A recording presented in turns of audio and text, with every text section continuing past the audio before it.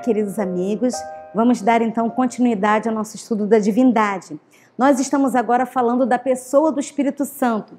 Vamos ver agora os textos que o Espírito de profecia fala a respeito da terceira pessoa da divindade. Lá no livro Atos dos Apóstolos 51, fala o seguinte: Não é essencial que sejamos capazes de definir exatamente o que seja o Espírito Santo Cristo nos diz que o Espírito é o consolador, o Espírito de verdade que procede do Pai. É declarado positivamente a respeito do Espírito Santo que, em sua obra de guiar os homens em toda a verdade, não falará de si mesmo. Interessante que muitos pegam esse texto para falar, temos que é, deixar isso em silêncio, porque não é para falar dele. Na verdade, ele não fala de si mesmo porque ele veio revelar a Cristo. Lembram como quando Cristo veio à terra revelar a pessoa do Pai? O Espírito Santo veio revelar aqui na terra a pessoa de Jesus Cristo. Por isso que fala ainda em Atos dos Apóstolos 51. A natureza do Espírito Santo é um mistério. Os homens não a podem explicar, porque o Senhor não lhes revelou. Com fantasiosos pontos de vista, podem se reunir passagens da Escritura e dar-lhe um significado humano. Olha o perigo. Mas a aceitação desses pontos de vista não fortalecerá a igreja. Com relação a tais mistérios, demasiado profundos para o entendimento humano, o silêncio é ouro. O silêncio é ouro naquilo que não está revelado, gente. Porque naquilo que está revelado, está claro. Vamos ver então os textos que estão claros sobre a pessoa do Espírito Santo. Mas detalhes a respeito do seu ministério, da sua pessoa, muitas coisas não foram reveladas. Né? O Senhor não deixou revelado. Olha o que fala esse texto em Testemunhos Especiais, série A, página 37 de 1897. A irmã White é clara em dizer: o príncipe da potestade do mal só pode ser mantido em sujeição pelo poder de Deus na terceira pessoa da divindade, o Espírito Santo. Nessa frase, apenas nessa frase, ela já diz que ele é o quê? Uma pessoa e que ele é Deus. Qual a dificuldade de entender esse texto? Está falando que ele é pessoa e que é uma pessoa da divindade. Ao pecado só poderia resistir e vencer por meio da poderosa operação da terceira da divindade, terceira pessoa da divindade, a qual viria não com energia modificada, mas na plenitude do divino poder, desejado de todas as nações 671. E o interessante é que essa citação se repete na Review de 1904 e numa carta aos irmãos da América em 1896. Então ela fala que ele viria na plenitude do divino poder. Aqui, por exemplo, a gente viu uma carta da Ellen White, só que foi datilografada pela secretária dela. Como vocês sabem, os manuscritos da Ellen White, ela passava para a secretária, a secretária datilografava e depois ela dava o ok. Ali, ali tem a letrinha dela dando o ok, o que, que ela precisava corrigir. Então vamos ver, está muito pequeno ali, não está dando para a gente ler, mas nós vamos aumentar e ver a respeito dessa anotação dela é, nessa carta. O mal vinha se acumulando por séculos e só poderia ser contido pelo inigualável poder do Espírito Santo, a terceira pessoa da divindade que viria sem restrições em sua eficácia, mas em plenitude do divino poder. Muito parecido com aquilo que a gente leu, né? Anteriormente. Carta 8 de 1896. Agora, olha que interessante esse texto da Review, de setembro de 1898. Olha só o que ela fala. Quando o Espírito Santo, que pessoa? Uma pessoa, implanta o Espírito de Cristo no coração selvagem, e aí ele favorece o servo de Deus, olha só, o Espírito Santo ele vai implantar o quê? O Espírito de Cristo. Para aqueles que dizem que o Espírito Santo é o Espírito de Cristo, é a mesma pessoa, é o próprio Cristo, aqui a gente já está vendo claramente que esse texto deixa claro duas entidades distintas. Então, aqueles que dizem que o Espírito Santo é a mesma pessoa de Jesus, por ser o Espírito de Cristo, tem alguns textos, a irmã White fala que o Espírito Santo é o Espírito de Cristo. Só que ao ela falar isso, o que, que dizem? Que ele é o próprio Jesus. E aqui a gente está claro que ele que não é o próprio Jesus. Quando o Espírito Santo ele vai implantar o Espírito de Cristo em alguém. Então, duas entidades distintas. Ellen White faz distinção de novo entre Cristo e o Espírito Santo. Testemunhos para Ministros 401. O grande alvo do advento do Espírito Santo é distintamente especificado por Cristo. Quando ele vier, ele quem? O Espírito Santo. Disse ele agora, ele quem? Jesus. Convencerá o mundo do pecado, da justiça e do juízo. Viram de novo? Duas pessoas distintas. Quando ele vier, disse Jesus, convencerá o mundo do pecado, da justiça e do juízo. Então, alguns alegam que o Espírito Santo é o Espírito de Cristo e seria o próprio Cristo, é, a, o próprio Espírito que provém de Cristo, baseado nesse texto aqui, de Manuscript Release 14, página 23 e 24. Impedido por sua humanidade, Cristo não poderia estar em todos os lugares pessoalmente. O Espírito é Ele mesmo. E aí? E agora? Ela está falando que o Espírito é Ele mesmo despojado da personalidade humana, independente dela. Ele se representaria como estando presente em todos os lugares por seu espírito, como onipresente. Gente, pense o seguinte: os discípulos estavam acostumados de estar com Jesus. Jesus ascendeu aos céus. E Jesus falou que mandaria o Espírito Santo, o Consolador, como seu representante que, que esse texto quis dizer? Isso aqui é uma ênfase que a irmã White está dando. Cristo não poderia estar em todos os lugares ao mesmo tempo. O Espírito é Ele mesmo, ou seja, vindo o Espírito Santo é como se o próprio Jesus estivesse aqui. Eles não ficariam órfãos, eles não, poder, não poderiam ficar pensando, ah, queremos Jesus aqui. Não precisava. O Espírito Santo se representaria como estando é, Jesus se representaria como estando presente em todos os lugares através da pessoa do Espírito Santo, porque Jesus não estaria mais com a onipresença que ele anulou. Então, veja o que diz esse texto. Desejado de todas as nações, 669. O Espírito Santo é o quê? O representante de Cristo, mas despojado da personalidade humana e dela independente. Limitado pela humanidade, Cristo não poderia estar em toda parte como pessoa, em pessoa. Era, portanto, do interesse deles, dos discípulos, que fosse para o Pai e enviasse o Espírito como seu sucessor na, na, na terra. Gente, claro demais. O que, que é sucessor? Que vem depois, o que sucede. Então, ele seria um representante que iria suceder. Vamos pensar. Vamos, vou dar um exemplo eu teria que ir em Capitólio pregar, mas eu não posso ir, estou impedida de ir. Mas eu vou mandar o Rafa. Então o Rafa vai pregar no meu lugar, ele seria o meu sucessor, o meu representante. E eu falaria: olha, o Rafa pregando é como se fosse eu. Confiem. Confiança, confiem. Ele é a mesma coisa que eu, é como se fosse eu. Então seria o Rafa e a Andréia na terra, lá em Capitólio. Vocês entenderam como é? É isso que quis dizer o texto é, lá em manuscritos 194 de 1898. De novo, o Espírito Santo, representante de Cristo, está agora em nosso mundo para trazermos a lembrança de todas as coisas. O Senhor Jesus age por meio do Espírito Santo. O que, é isso? Age por meio, é o Espírito Santo agindo na terra, pois ele é o seu representante. Mensagem aos jovens 55. Aqui de novo, caminho a Cristo 91. O Espírito Santo exalta e glorifica o Salvador. Essa é a sua missão. É apresentar a Cristo a pureza da sua justiça. E vai falando, né? O Espírito de verdade é o único mestre eficaz da verdade divina.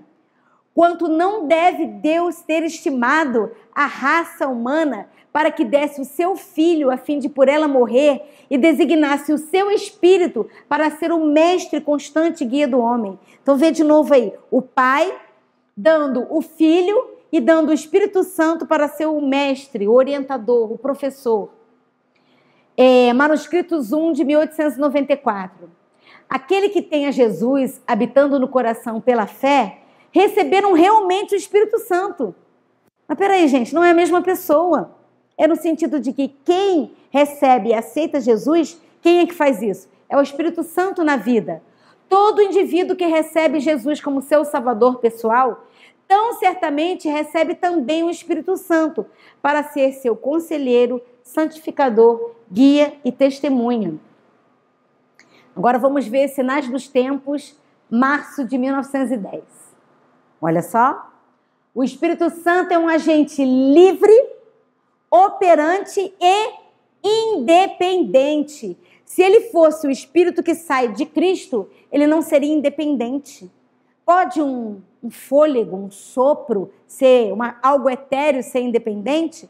Se ele é inerente de, a Cristo, se ele sai de Cristo, então ele não é independente. Na realidade, quando a gente fala que ele sai de Cristo, é no sentido de enviar, né? Ele enviou, Jesus enviou.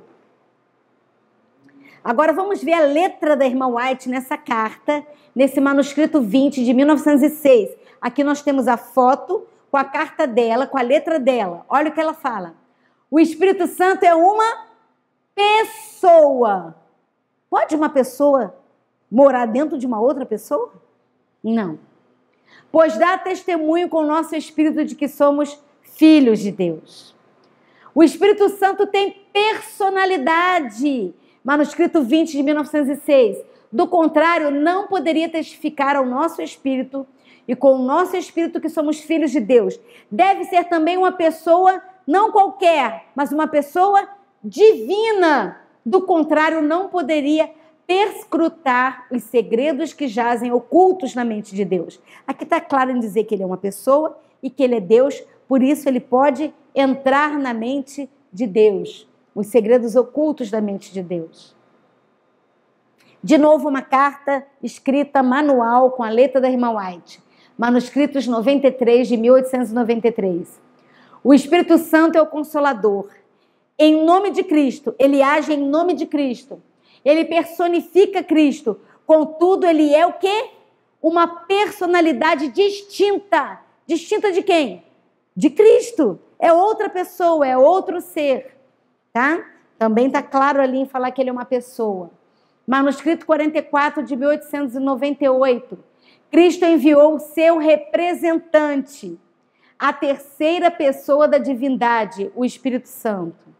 Comentário Bíblico Adventista, volume 6, página 1053. Ele, Cristo, determinou dar seu representante, a terceira pessoa da divindade. De novo, esse dom não seria excedido. Desejado de todas as nações, 474 as circunstâncias podem nos separar de todos os amigos terrestres. Nenhuma, porém, pode nos separar do celeste consolador. Onde estivermos, onde formos, ele estará sempre ao nosso lado para apoiar, suster, erguer, erguer e animar. Que tremendo, né?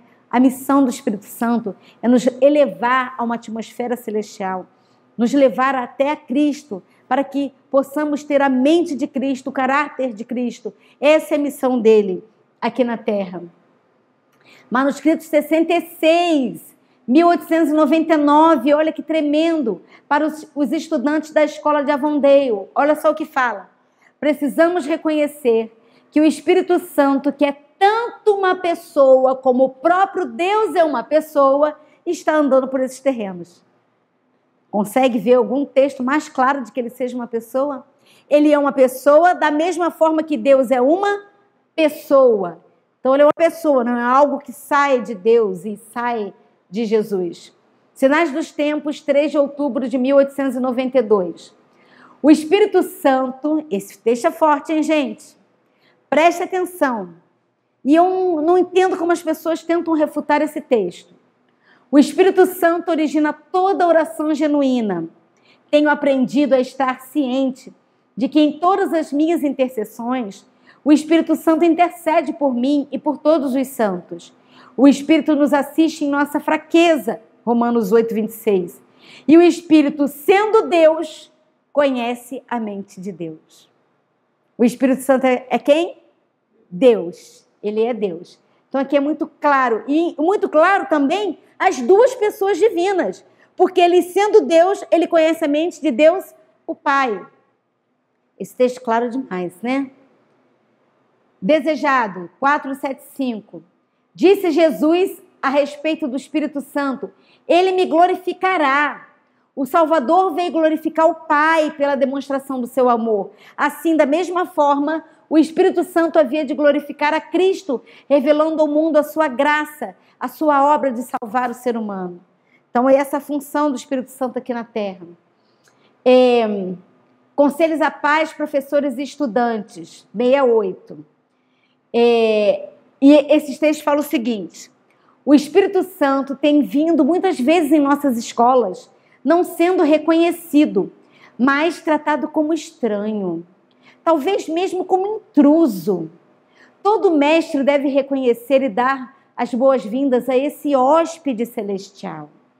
O Espírito Santo é o divino professor. Por que ele é o divino professor? Porque ele veio fazer o quê aqui? Nos ensinar, nos fazer lembrar.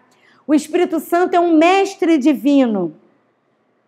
Olha só, é o manuscrito Testemunhos Especiais, série B, página 61 a 63 de 1906. Ela fala sobre o ponto de vista falso da divindade triuna que contrasta com o verdadeiro.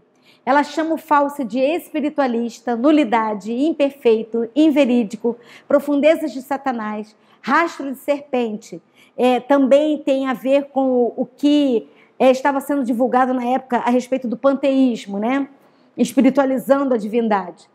Os que aceitam o ponto de vista errado estariam dando ouvidos a espíritos sedutores e doutrinas de demônios, apartando-se da fé que havia considerado sagrada durante os últimos 50 anos.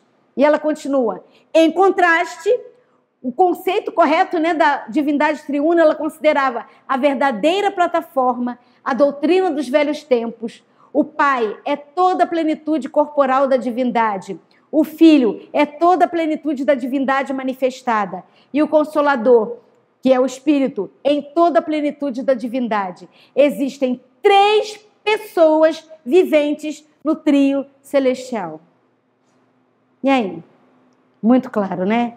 Três pessoas viventes no trio celestial. Um outro texto. Não tendes tido receio do Espírito de Deus? Às vezes esse Espírito tem vindo com a mais completa e penetrante influência à escola de Battle Creek e a outros lugares. Aqui ela estava falando relacionado à visita do Espírito Santo é, nas escolas lá de Battle, Battle Creek. E ela fala assim: Reconheceste sua presença? Atribuíste-lhes a honra devida ao mensageiro celestial? Quando parecia estar o Espírito lutando com os jovens, dissestes: Ponhamos de lado todo estudo, pois é evidente que temos entre nós um hóspede celestial. E quem é esse, esse hóspede? Olha a continuação da, da conversa que ela fala. Demos glórias a Deus, esse hóspede celestial então é Deus. E com o coração contrito, inclinaste-vos em oração com os vossos estudantes, suplicando poder e receber a bênção que o Senhor vos estava apresentando? Isso está no Conselhos aos Pais, Professores e Estudantes 68. Aí agora ela continua falando. O grande mestre em pessoa, está falando da pessoa do Espírito Santo, estava entre vós. Vós o haveis honrado. Era ele um estranho para alguns dos educadores? Houve necessidade de mandar buscar alguém supostamente autorizado para saudar ou repelir esse mensageiro do céu? Embora invisível, sua presença estava entre nós. Vocês entenderam o contexto, né? O Espírito Santo, Espírito Santo estava na escola, é, visitando a escola, os alunos, vendo a obra que estava sendo feita lá. Mas não foi expresso o pensamento de que na escola o tempo deve ser dedicado ao estudo e que para tudo havia um momento oportuno, como se as horas dedicadas ao estudo comum fossem demasiado preciosas para serem abandonadas em favor da operação do mensageiro celestial? Quando o Espírito Santo revela sua presença em vossas salas de aula, dizei a vossos estudantes: o Senhor indica que tem para nós hoje uma lição de origem celestial, de mais valor que nossas lições de ordem comum. Ouçamos, curvemo-nos diante de Deus. Quem é o hóspede celestial, que é o Espírito Santo? Deus. Busquemo-nos de todo o nosso coração. Tremendo, né? Agora, gente, esse texto é um dos textos mais fortes que eu já li sobre a pessoa do Espírito Santo. Está na carta número 6 de 1895. E essa carta foi lida na conferência de 21 de outubro, já tinha sido lida na conferência de 21 de outubro de 1894. E ela foi repetida em 1895.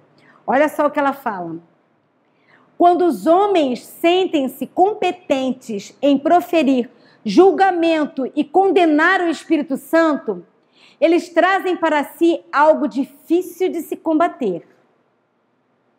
Então as pessoas querem condenar a pessoa do Espírito Santo. Agora tenta combater essas pessoas. É difícil, não é fácil. A cabeça sã torna-se fraca, assim como o discernimento que acaba julgando de forma injusta. Mas o Espírito ainda chama-os, mas eles não ouvem e nem prestam atenção ao chamado de Deus. Olha que tremendo. Então, as pessoas se sentem competentes para julgar a pessoa do Espírito Santo mas ela fala que é difícil lidar com esse tipo de pessoas, porque a cabeça é o quê? Fraca. A cabeça que era sã se torna fraca. O discernimento também. E acaba julgando de forma injusta. Mas o Espírito Santo ainda está chamando essas pessoas. Ainda está chamando, mas não querem ouvir, porque não querem prestar atenção ao chamado de Deus. Que isso não possa acontecer com você.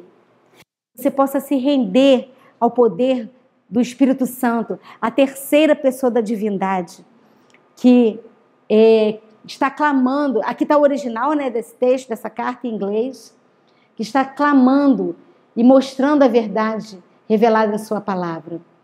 Por isso, em Mensagens Escolhidas, volume 2, é, perdão, volume 1, segunda edição, página 18, fala assim: Irmãos, apegai-vos à Bíblia, tal como ela reza, como está escrito. Não fique inventando fábulas, criando coisas, inventando doutrinas onde não existe.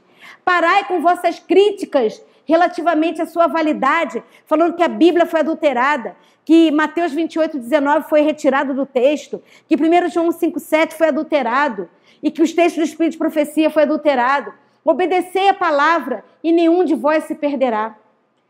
E Grande Conflito 608 fala: ao aproximar-se a tempestade, uma classe numerosa que tem professado fé na mensagem do terceiro anjo, mas que não tem sido santificada pela obediência à verdade, abandona sua posição, passando para as fileiras do adversário. Unindo-se ao mundo e participando de seu espírito, chegaram a ver as coisas quase sob a mesma luz e, vindo à prova, estão prontos para escolher o lado fácil e popular, seguindo ventos de doutrina né, seguindo essas heresias que têm entrado na nossa igreja. Homens de talento e maneiras agradáveis, que se haviam já regozijado na verdade, empregam sua capacidade em enganar e transviar as almas. É isso que a liderança dos ventos de doutrina, das falsas teorias, tem feito com o povo da, da igreja, transviando as almas. Tornam-se os piores inimigos de seus antigos irmãos. Isso é muito sério que está acontecendo.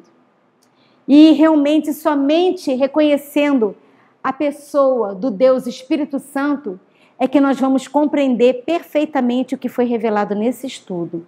Porque somente ele pode convencer. Eu não posso convencer ninguém. Nem mesmo o Espírito de profecia, a Bíblia, a palavra, está tudo claro. Mas somente o Espírito Santo pode revelar a verdade, convencer sobre essa verdade. Que Deus possa abençoar a cada um de vocês e mostrar essa verdade. Agora, aceite se render à verdade. Não bata a mão em prego como se fosse um martelo, porque vai se ferir. Só para não voltar.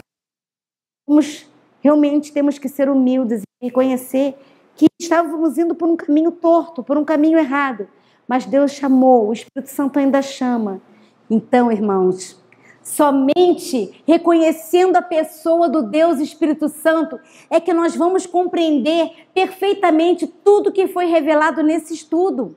Porque somente Ele pode nos convencer da verdade.